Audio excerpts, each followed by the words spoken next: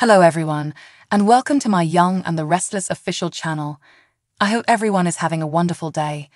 Before we begin, please hit the subscribe button and give this video a thumbs up. On July 17, 2023, The Young and the Restless will air. Audra doesn't find Tucker's warning amusing. Victor explains what will happen to his children, and Chance and Sharon give way to their love. Victor makes himself a drink at the ranch and muses. Nikki enters and inquires as to what is wrong as he sits down at the chessboard. Victor bemoans the disintegration of their family.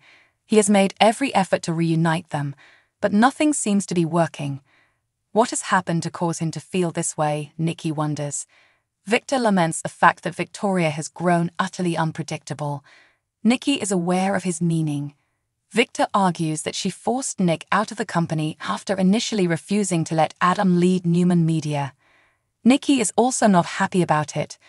Nick has been invited by Victor to work with his brother to turn McCall into a profitable business.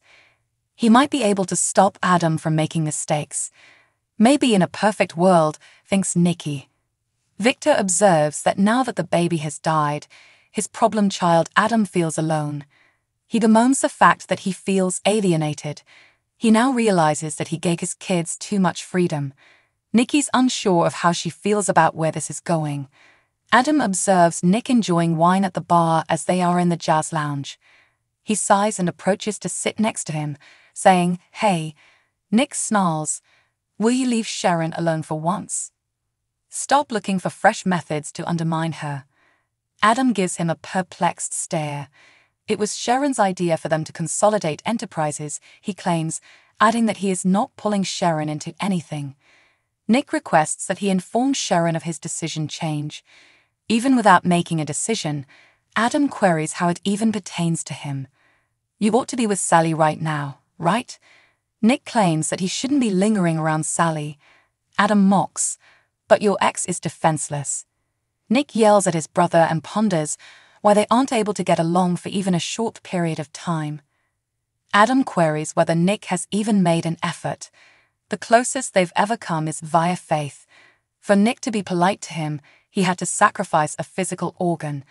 It can all be a fruitless exercise in pleasing their father. Do you really believe that? Nick queries. Adam shrugs and says they might be better off giving up altogether. Chance assists Sharon in setting up the seats at Crimson Lights and informs her that Phyllis has finally turned herself in. Sharon guffaws that she'll keep the restaurant open for that. She is determined to restart the appliance and make him a cup of coffee.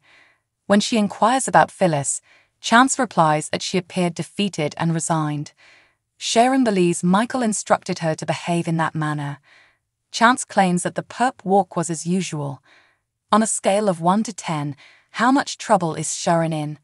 Chance responds, 13 and a half, and mentions that her attorney suggested they may have some sort of legal defense. As they toast over their coffee cups, Sharon invites Chance to have a seat. Chance observes documents with Cameron Kirsten's name on every page as they approach a table. Cameron left Kirsten incorporated to Sharon, according to Sharon. After having sex, Nate and Victoria converse on the pillow in the corporate suite. He would like to believe that this is not only sex, Victoria reassures him that she values the connection greatly and inquires about his expectations. Nate wants to collaborate with her every day and live permanently in the executive suite. Together, they are an unstoppable force.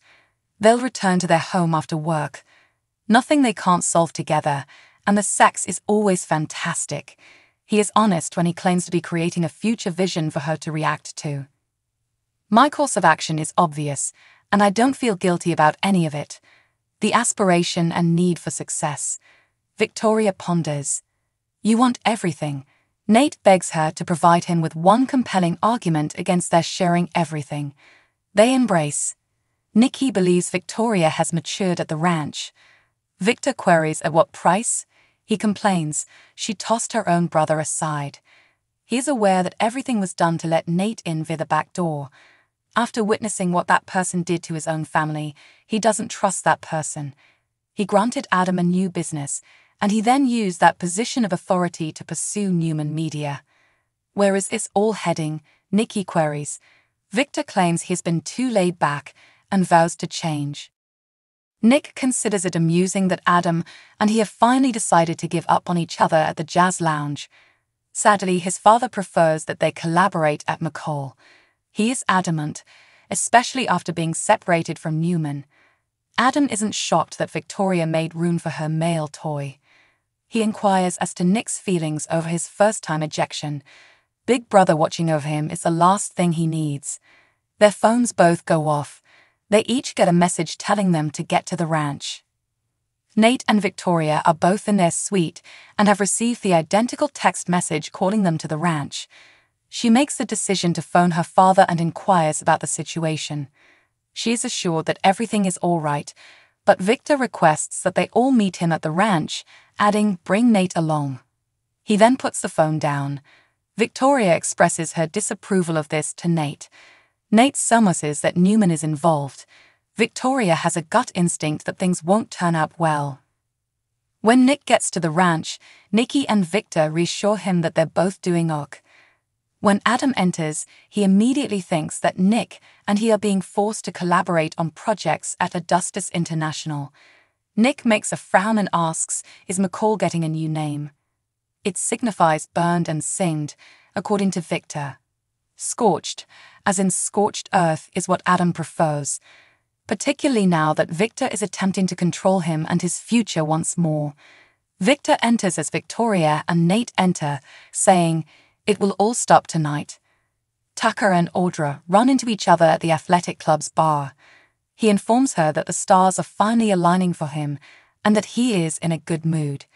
To celebrate, he wants to get her a drink Audra is shocked that he's even speaking to her. They haven't had the finest relationship. She makes a frown as Tucker wraps his arm over her and says, I forgive you. He makes more less jokes when placing beer orders. Unamused, Audra says, The point is that you have to put away the past, Tucker explains, adding, McCall Unlimited, pash. He is liberated, the world and all of its fascinating possibilities is now mine, he says in his toast. He sounds tipsy, according to Audra, and he's rambling. Tucker snickers, saying he's so freaking delighted that he's a little giddy. Audra requests more information.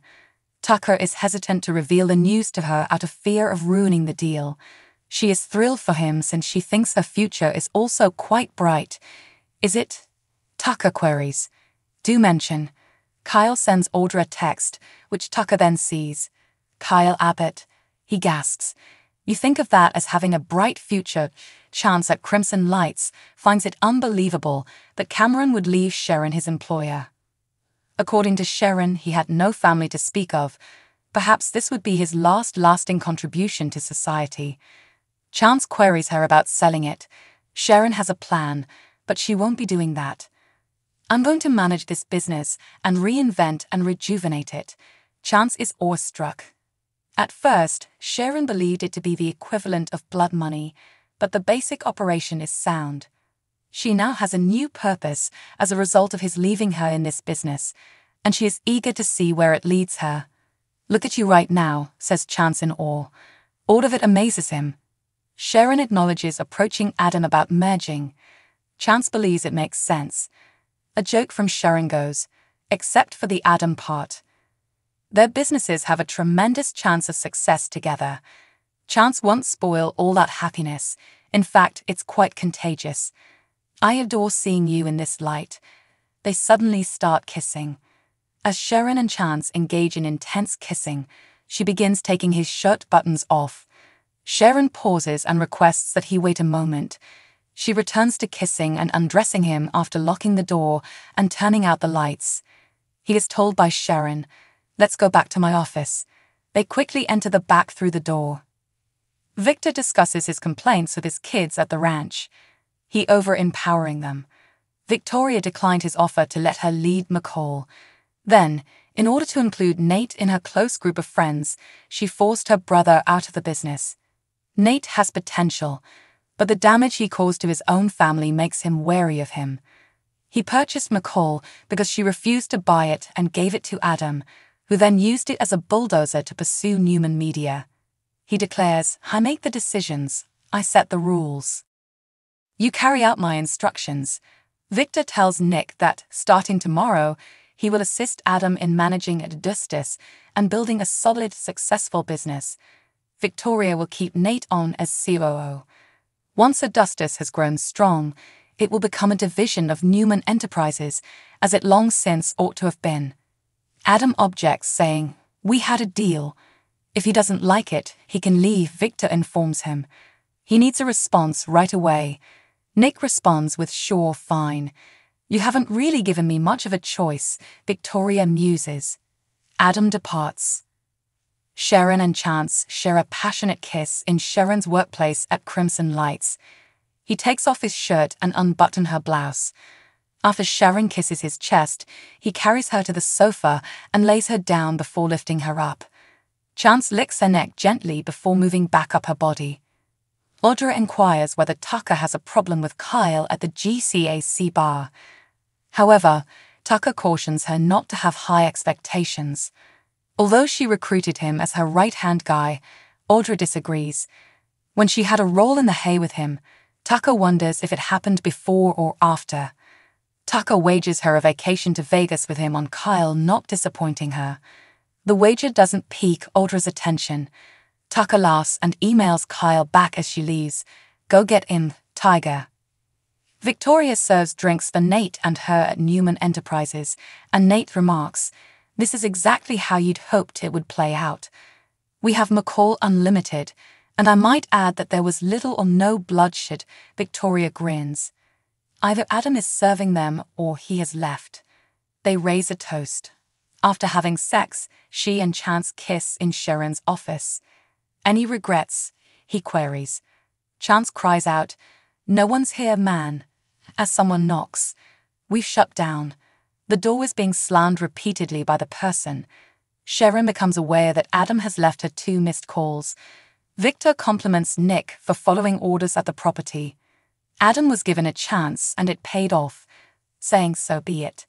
Nick reflects if Adam goes along with it, he's going to be more volatile and unpredictable than ever. Victor promises to be done with him if he doesn't get in line. Sharon gets ready at Crimson Lights and goes to let Adam in. He knew she was still there when he noticed her automobile in the parking lot. He informs her that since Victor pulled a quick one and left Adustus, her proposal is no longer relevant, but I'm delighted to enter with you. Together, we can turn Kirsten's business around. I no longer want anything to do with my father or my family. So, what do you guys think about this update? Let me know in the comments below. And if you like my videos, please press like and subscribe for more. I'll see you guys next time.